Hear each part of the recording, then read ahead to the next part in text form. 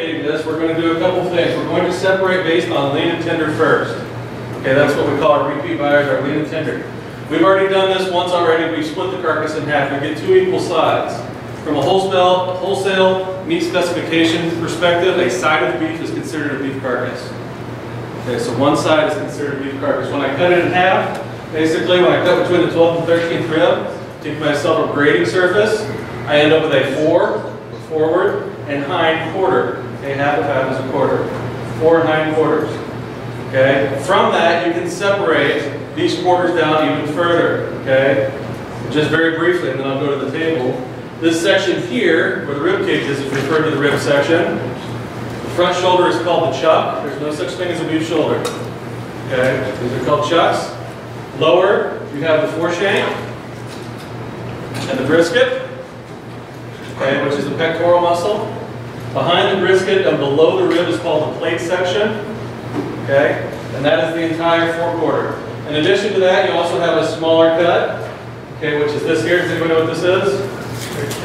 It's the diaphragm of the animal. And there's a muscle that pulls that diaphragm to help it breathe, and we refer, refer to it as the skirt. Okay, so that's your skirt steak sitting there. Okay, that's your forequarter. Moving back or moving up, again, we're, hind, we're hanging from our hind leg, remember? Okay, moving up. This muscle, simply because it was cut here, doesn't mean it stops, okay? So these are pretty much identical steaks, but they're called something different. Okay, as we move back from the rib, this section is referred to as the loin section, okay?